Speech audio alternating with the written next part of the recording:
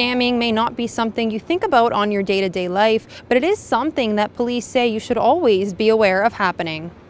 But what we do see as we change through different seasons and types of years, certain scams reflecting those types of years popping up. Uh, for example, as we head into the, the busy holiday season, more and more people are shopping online.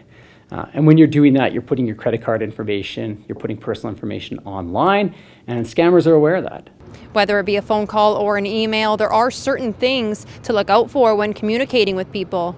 But what we have seen is we've seen some underlying or common um, common themes to all frauds. Uh, the first being uh, they're going to represent or try to convince you that they're from an organization that you trust, uh, be it uh, the government, Canada Revenue Agency, a utility company such as BC Hydro, and recently we've seen the North, or North Okanagan um, R number, police number, being used to try to trick the caller into believing it's someone credible and they can trust on the phone. Um, from there, what they're going to do is they're going to pressure you or they're going to provide you with a lure or um, something to keep you interested, something to entice you. Maybe a reward or you've won a contest or even a medical emergency for a family member.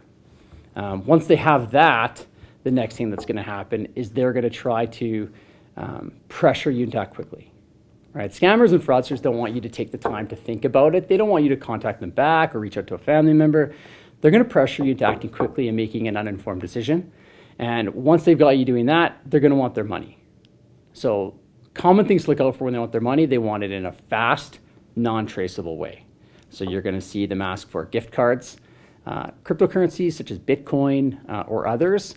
Uh, or even electronic money transfers. If you do fall victim to a scam, there are a number of steps to take afterwards. Uh, if you have given personal information or have lost money, we need you to contact police. Contact your local police and let them know. Uh, if you haven't provided any personal information or lost any money, uh, you can contact the Canadian Anti Fraud Centre um, because we want to know about it. Uh, other things that you need to do to protect yourself check your banking statements regularly, um, check with your uh, credit agencies, either through TransUnion or Equifax, to make sure you're not the victim of identity fraud. Um, but those are some steps that you could take to protect yourself in the event that this happens. Victoria Famia, Castanet News in Vernon.